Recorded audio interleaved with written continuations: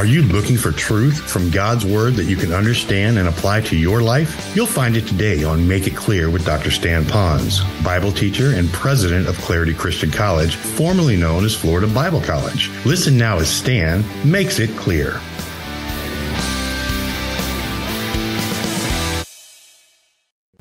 All right. Well, it's so good to be with you again, and I'm so excited to be able to share God's Word with you, and I trust it's a real blessing as I was going through this material for me. Now, if you're like me, I really enjoy Christmas. I don't know, maybe growing up we had a good experience at Christmas time, but it wasn't until I came to know Christ as my Savior that I really, really knew what Christmas was all about. Now, I came from an, a culture, you might say, a Christian culture, that we really did celebrate the birth of Christ. But it seemed like we put more emphasis on the birth of Christ rather than the birth of Christ. Do y'all know what I'm trying to say? And sometimes we celebrate the event rather than the person of the event. And there's nothing wrong with doing that. You know, some people like to have a birthday party, so we celebrate the party. But sometimes lost in the mix of all of that is the person about whom we're having this party. And I want to make sure that even here at our church that we do celebrate the birth of Christ. And so we emphasize Jesus Christ. You know, he came to give us life, and that's what we're going to be sharing with you from time to time, that that life he came to give to us is eternal life found in Christ by faith alone. So we can know that our sins are forgiven, that we're going to be living forever, and when we die, we'll spend eternity with him. But he also came to give us more than just life. He also came to give us life more abundantly. In other words, how that we can have a wonderful, wonderfully fulfilled life here on this earth. And that's why we're even in this series now on character building while we might be talking about some of the character of Christ, it's really the character of Christ that we're going to be talking about.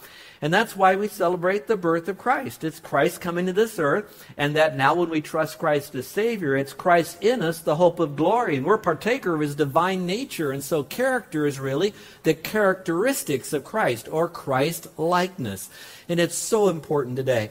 I think all of us, if we're really open and honest, we can admit that character is not taught like it really could be and should be taught today. That people today have less and less character than they've had before, and how important it is for us to have character. And it's because of that and the Holy Spirit leading me that I wanted to launch into a longer series called The ABCs of Character Building. And to do this, I thought it might be good for us to select a character trait that's found in the life of Christ that he demonstrates in Scripture and that we now can embrace into our own life so that we can have that character as well. And that's why it's so important. You know, if you look at character, there are people that had character. I'm thinking of probably one of the greatest presidents that we've ever had, and that would be Abraham Lincoln. And probably what made him so great was not only his pithy statements about leadership and character, but he also led our country during the worst possible time in the history of our country. Now, I know that our president elect is going to inherit an incredible challenge ahead of him. And we can try to dissect that and analyze that all that we want, but I think all of us could admit that this country is in no way the same condition that it was in when Abraham Lincoln was president. And let me read to you what he had to say about character. For I really believe that if we grab a hold of this concept, that we'll see the importance of it. It goes like this Character is like a tree, and reputation like its shadow. The shadow is what we think of it the tree. The tree, though, is the real thing. And then he made that very famous statement when he said this I desire so to conduct the affairs of this administration that if at the end, when I come to lay down the reins of power as president, president, and I have lost every other friend on earth that I have, I shall have at least one friend left, and that friend shall be down inside of me. And I would hope that maybe, though we'll never be president with so much conflict in our life, but those of you that do have a life, that you could say that at the end of your life, maybe even at the end of your day, when you lay your head on your pillow, and you might think that you're all alone, that you still have a friend inside of you, a friend that you have never, never compromised. And that friend is the true character that's Christ that's inside of you. Now, let me continue to remind you, and I'll do this nearly every message, and that is what makes Christian character so different than all the character building um, programs that they do in the public schools and on the, uh, in the world of work. The difference is, is that most of those character traits are going to be man made, man driven, and generally with man at the center of it. But for a Christian, Christian, Christ like character traits, we find that it's not man at the center, it's found Jesus Christ is at the center of all of this. Secondly, we know that in the secular world, they're going to tell you that whatever you can conceive in your mind about character and you're taught properly, you can achieve that. Unfortunately, that's not always the case. We know as Christians, though, that if we want to embrace the character of Christ, then the person of Christ who lives inside of us has all the character necessary, along with it, all the power that we need to live that character out. So that means that whatever character trait that we choose to study, if it's biblical and we teach it in a biblical way about Christ, it is achievable in our life because it's Christ living that exchange life out through us. Now, as I looked over all the different traits that there would be, some would say there's 49 different character traits, some say there's more, some say that there's less. I have to tell you that I've prayed, I've asked some of my uh, closest friends, not all of them, but to give me their opinion of what they thought would be some character traits we could open up and unpack in Scripture. And so the first one that comes to us is the one that's on availability. And you can see that up on the screen, the one on availability. It was interesting because I had prepared this message usually a month ahead of time, and I'm honing it and sharpening it, and getting it ready to deliver it. And it was last Sunday that I was ready to give this message on availability, and I couldn't do it because of the illness. And so when I called, I I called John Deacle to step in and speak for me in the morning. I was interested. I said, John, guess what? You get a chance to be an example of the very sermon that I'll be preaching next week, which is on availability.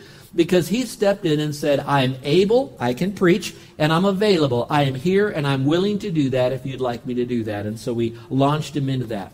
Now, for just a moment, I thought, wouldn't it be interesting, though, if he was willing to preach, but he had no ability, no biblical content, and he didn't know how to communicate it well, but he was willing to do it.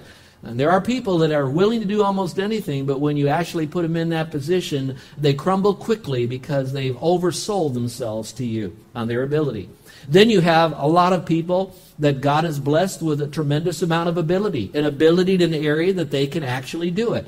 The problem is that they have something inside of them that is not surrendering their availness of it, to be available to do that. And so you really need to have both together. You do need to have a degree of ability, and you do need to have availability so that they both go together. As I thought about that, I thought about how many times all of us, at times, we would come across uh, an object, maybe in our home, that's held together by screws.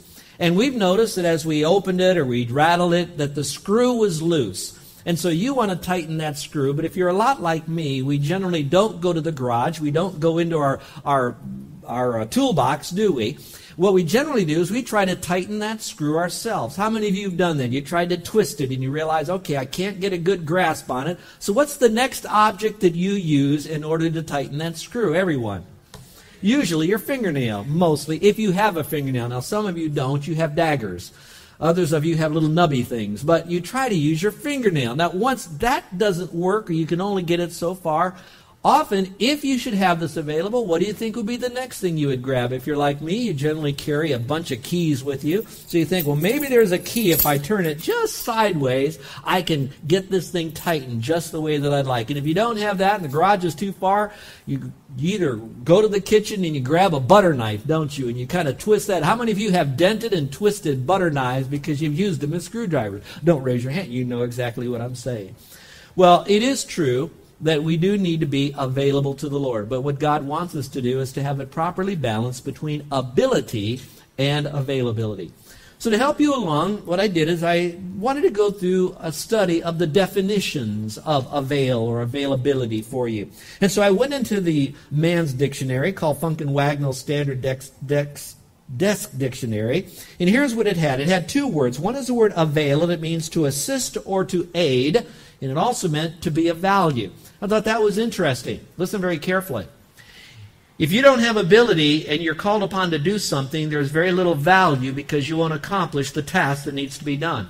On the other hand, if you got, got great ability but you don't avail yourself of that ability, then again, you're not very valuable to the person. What makes you of value is when you have the ability and you're willing to use that ability to accomplish something that God would have you to do. So there's value in that. So that's a pretty good explanation of avail. Then he went on to say availability is the capableness of being used. And I like this, what we said just a moment ago being at hand.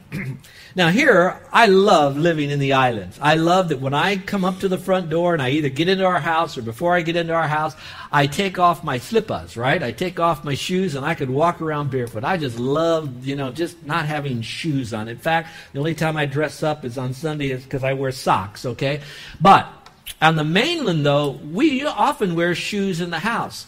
How many of you guys have been out there and your wife asks you to hang a picture, and so you're there and you get it ready, and you get that little nail and you put it up against the wall, and now you're ready, and you just work so hard to get it perfectly balanced in the center of the wall, and then you forgot your hammer.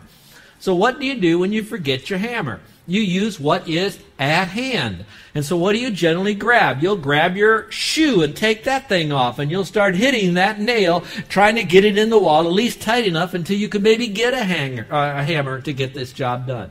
So again, availability means to be used, but also to be at hand. You have to be exposed. You have to be there. You have to be in shot, so to speak, of being used. Now, the Greek has an interesting word. It's the word iskuo, and it just simply means able. I like this. Can do. Are you a can do kind of person? Do good, might, be of strength. And the last one I thought was kind of interesting. It also said much work it probably implies that if you're available, you're going to be used a lot because you're the one that could be counted upon. On the other side, you might be just kind of brushed off and put off to the side because you just don't work very hard, and so you're not going to be used. And I would like to say this in the most tenderness that I can give to you. Some of you might even feel a little bit marginalized around here that you're not being used very much, and you wish you could be used more. Maybe you're waiting for the phone call. Maybe that's the style that you think will get you activated is you won't work unless you're called. And yet there are a lot of others that are lining up to be used. I don't know. But I do know this that availability involves being in the way so the Lord can use you so that you're right there and stepping up, being at hand. Well, I'd like to submit to you a definition that you might want to teach to your kids, and feel free to tweak it that fits best for you according to Scripture and your understanding of availability. The character of Christ. We're celebrating the birth of Christ. And when we say that, the birth of availability in human form. All right, so let's look at it. It's having the ability and willingness. Notice the two go together. So there is a degree of learning how to do things. The more you know, the more usable you'll be. And then it also says, and willingness. You can have all the ability, but if you're not willing, then you're going to rust out and you won't be used. So it's having the ability and the willingness to do something good.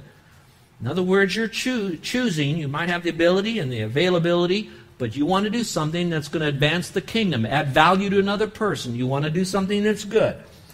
And then it ends by saying, by accepting and fulfilling a responsibility. Now, that right there is a sermon.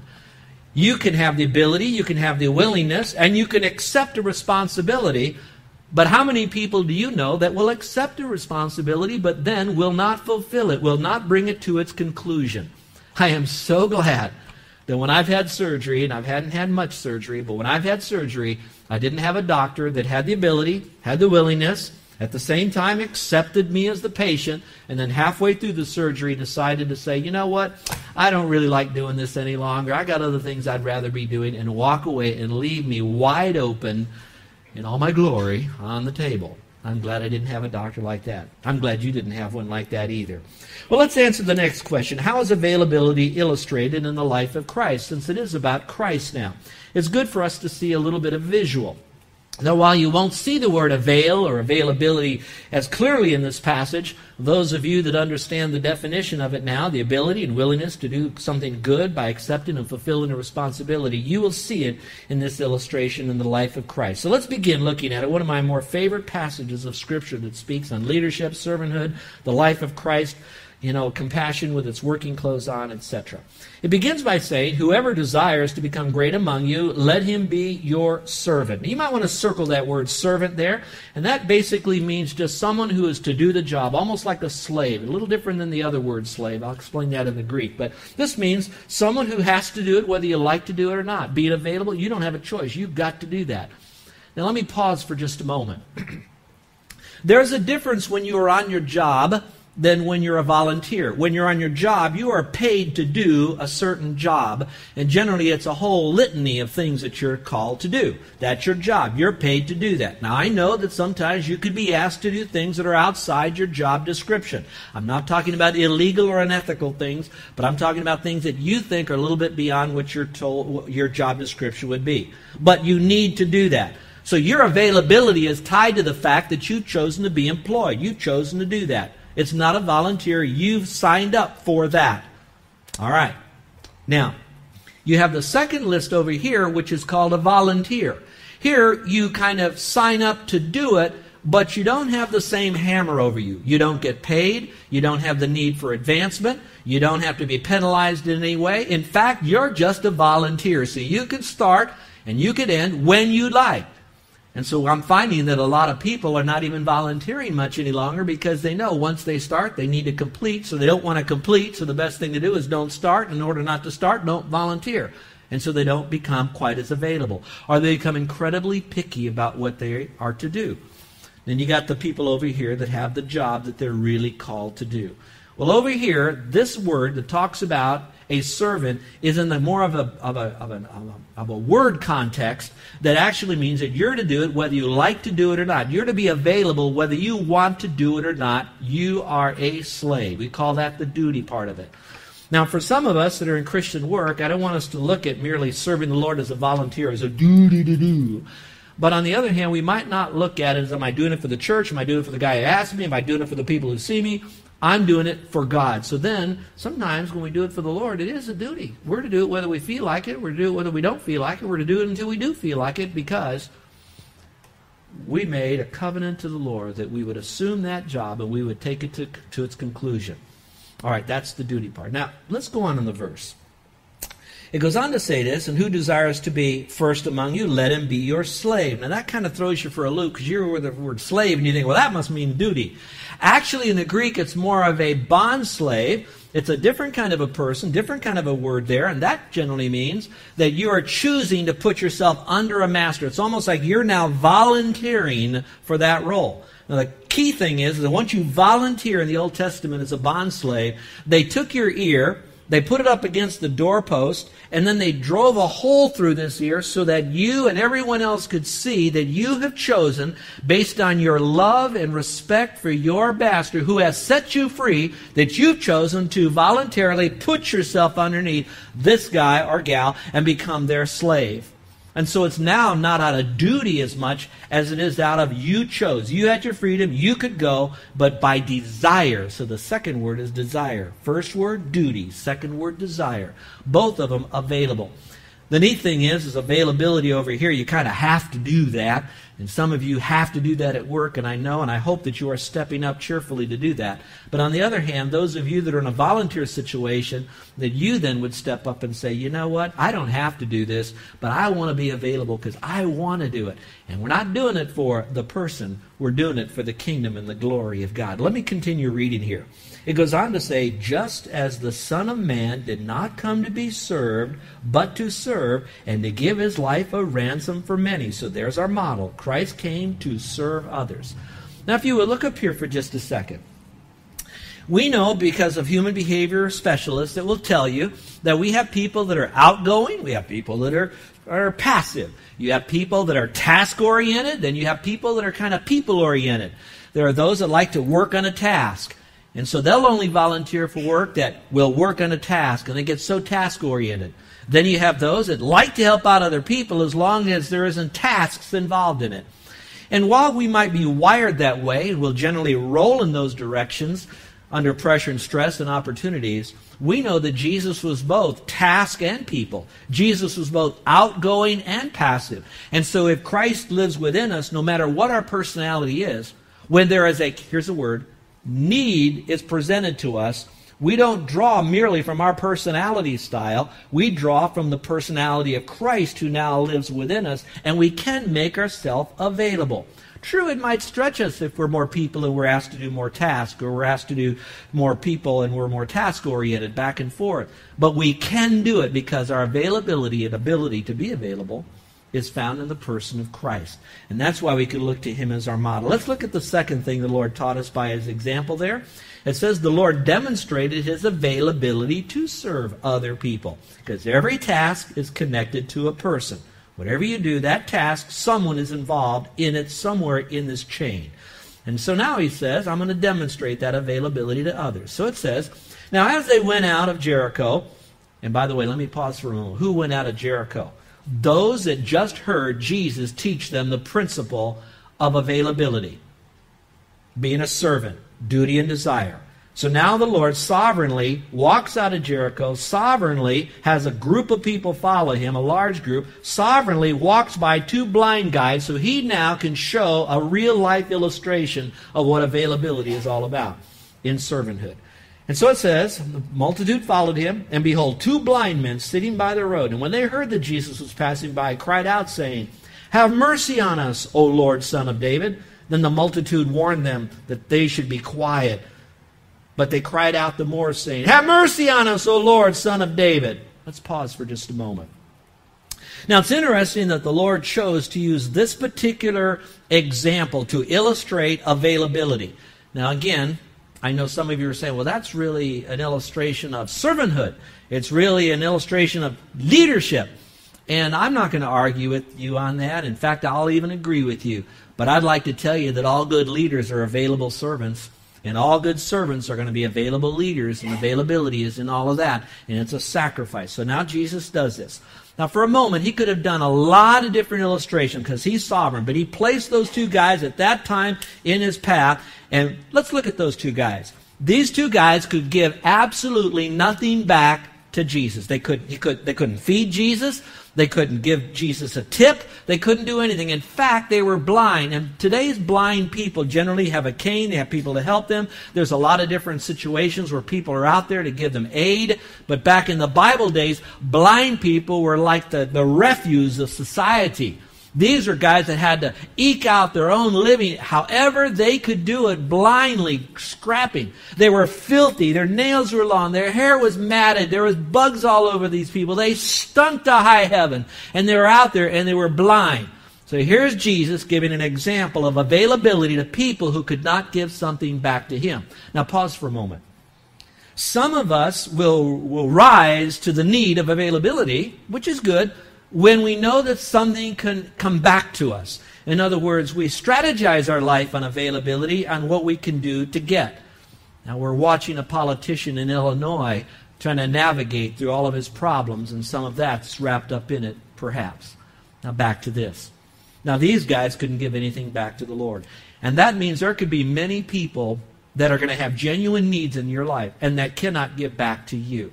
Now, why I like this so much is for this reason. Now, listen carefully. Listen. There will be people that will ask you to do something for you that can give something back to you, such as a thank you note, an appreciation. You scratch their back, they'll scratch your back later on. And now, what the Lord is teaching us is still even when you do something for someone else that could do something back to you, don't look to them to give back to you. You just give it to them and let it go. Just like these blind men who could not give something back to him. All right, now let's go back to this. So here they are blind. The other people are saying, don't bother with this person.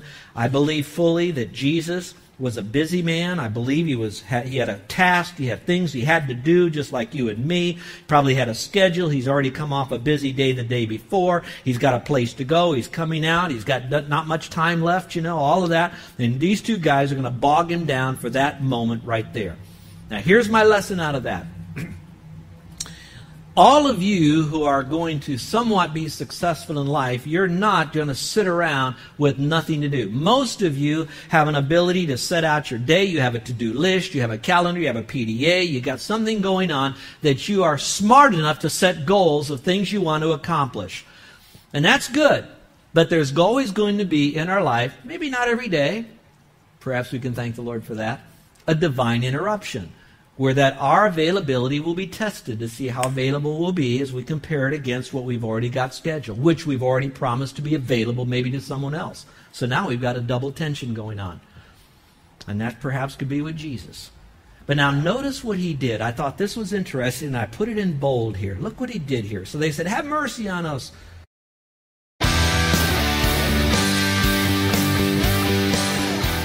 This is Joe Ponz, and I want to thank you for listening to Make It Clear with the teaching of Dr. Stan Ponz, founder of Make It Clear Ministries and president of Clarity Christian College. Make It Clear is dedicated to taking the Word of God with clarity into every person's world. It's the support of listeners like you who make the ministry of Make It Clear possible. You can provide your tax deductible gift to Make It Clear online by going to makeitclear.org. That's makeitclear.org. Thank you for helping us make it clear. If you would like to have Dr. Ponz speak at your church or event, please email us at tellmemore at makeitclear.org. That's tellmemore at makeitclear.org. Thank you, and remember to make it clear.